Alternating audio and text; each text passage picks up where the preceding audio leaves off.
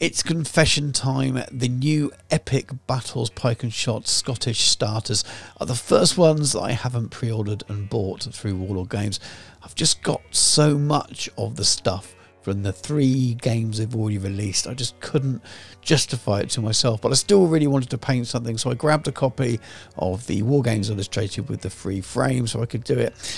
They are really cool. Both starter sets look fantastic. Normally, I'd be reviewing them and unboxing them. If you've watched the channel for a while, maybe you've even expected it, but I just couldn't do it. I am tempted by the Montrose Royalist starter set.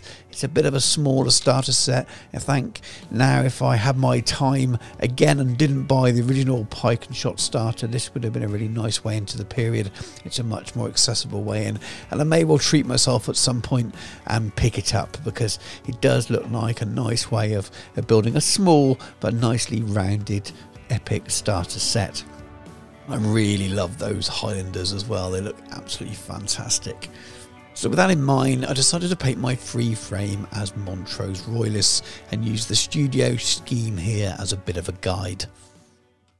So for this tutorial, I'm just going to paint one strip. I've decided to go for a regular strip rather than a strip with the officers on there. I figured this would be one of the easiest way to demonstrate the techniques that I use. For long-term watchers of the channel, you'll have seen much of this before, but I like to prime my miniatures black in most cases, and then I move on to what is really an underpainting stage. I call it a zenithal highlight with the airbrush, but essentially what I'm doing is adding quite a heavy layer of white, mostly top down, but quite a lot to the sides as well, so we end up with a grayscale miniature with a little bit of darkness left from the black in the undercuts and shadows underneath. I finished this off with a dry brush as well to really pick out the detail. Um, the reason for doing this is I like to base coat my miniatures using contrast paint, Army Painter Speed Paint, Vallejo Express Colour and all of those kind of new ranges of ready-made glazes. I'm going to start off with the skin and this is Vallejo Express colour dwarf skin. It's maybe it's supposed to be dwarf but there's definitely no R in the spelling there. Now what I'm doing here is applying this fairly liberally to all of their faces. And you'll see that I also paint their hands which is a total mistake because they're wearing gloves so I have to go back and rectify that afterwards. So, so don't do that bit. Now moving on to the hair I'm using Gore-Grunta Fur Nazdreg yellow and Cygor brown. And what I do with this, I open all the pots up, careful not to knock them over, and I just work my way down the strip of miniatures. Most of the visible hair is on the back, but when you do turn the miniatures round afterwards to make sure that you're doing the fronts or the sides as well, just make sure you match up the right hair colour with the right man. You don't want blonde hair around the back and a, and a black moustache or something like that.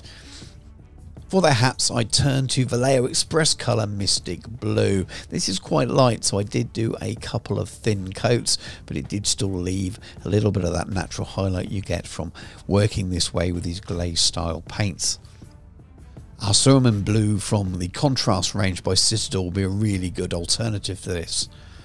Now sticking with blue, we're on Vallejo Express colour still as well, and this is Omega Blue, and I'm using this on some of the trousers. What I'm doing here is starting a few spot colours. There is a main colour to this, almost a uniform type colour, but I want a couple of the sets of trousers to stand out, and blue is one of those spot colours.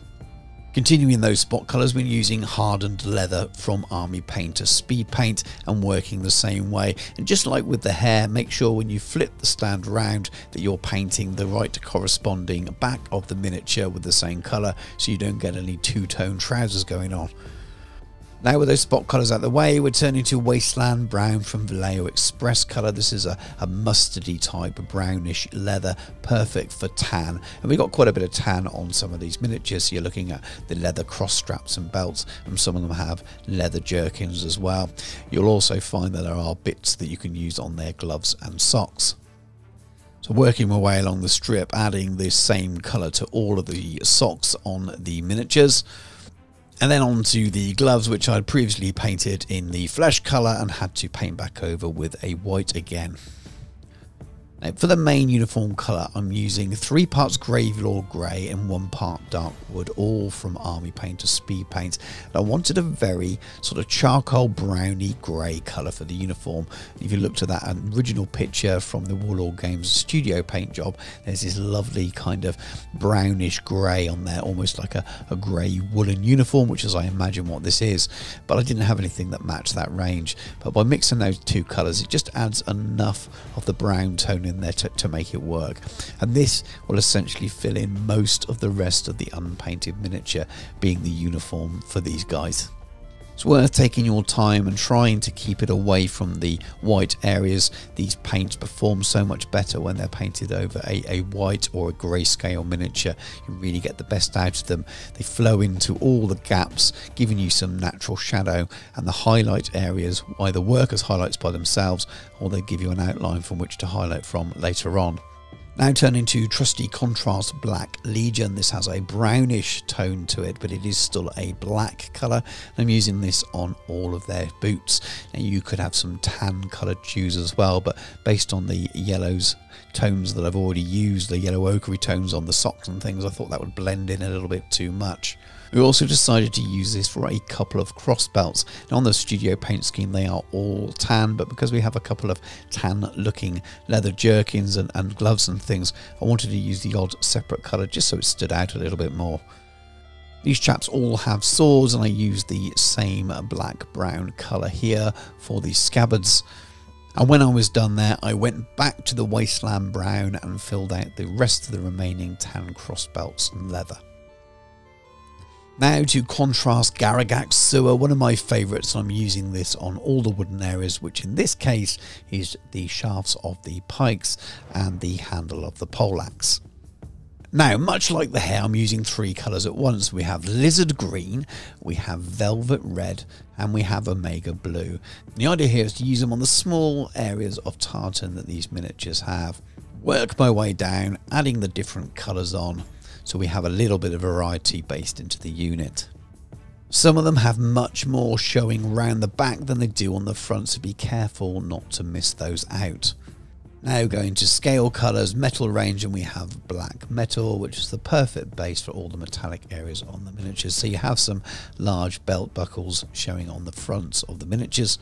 Then of course the more obvious metal end to the poleaxe and the tips to all the pikes and that's a full base coat and absolutely gameable and this will be more than enough for most people especially with miniatures so small but we are going to crack on and highlight further while I have your attention, just before we start the highlights, I have recently started a Patreon. If you'd like to support the channel, that's a fantastic way of doing so. There's a link in the video description, so please do go and have a look if you'd like to support the channel. In addition to that, I've also launched a Patreon, a place where we can all go and discuss things in a little bit more detail than we can do in the comments on the videos. That is open to non-patrons as well as patrons. Patrons get a little bit extra access. To start off, we're turning to scale 75, so scale colour rainy grey, and to me this has a slightly earthy tone to it, and it's the perfect highlight for all those sort of woolen grey areas. Very, very thin lines here, just picking out the tops of the folds in the trousers and on the edges of the jackets. And turning the strip round and making sure you're doing the, the same on the back as well, and this just helps the miniatures stand out and pop a little bit more.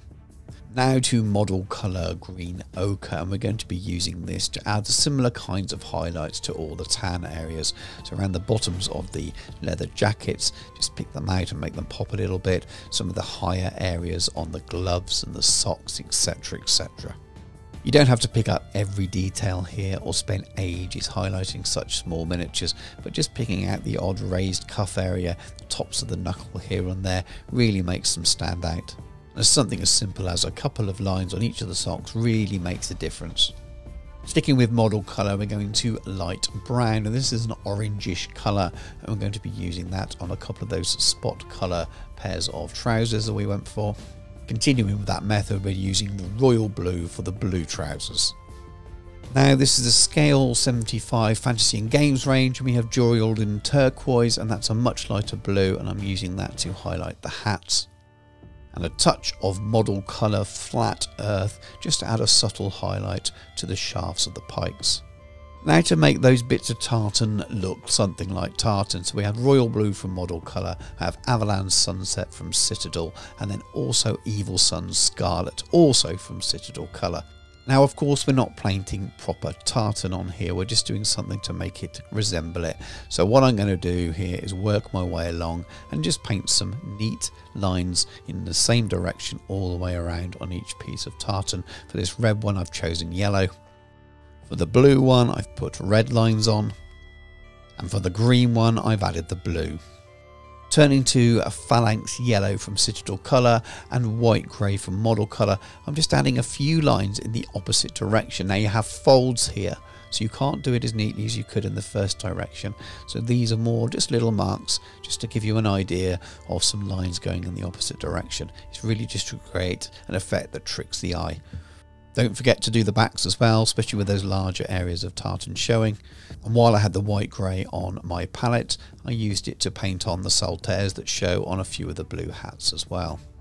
At the same time, you can pick out this chap's white shirt that's showing a little bit on the front and the back and then add a little highlight to the white bits showing around the tops of the socks on some of the miniatures. Now turning to some model colour basic skin tone here and all I'm doing is just adding a little bit to the bridge of the nose and the tops of the cheekbones, maybe the chin if there's not any hair on it and it just really makes the faces stand out that little bit more.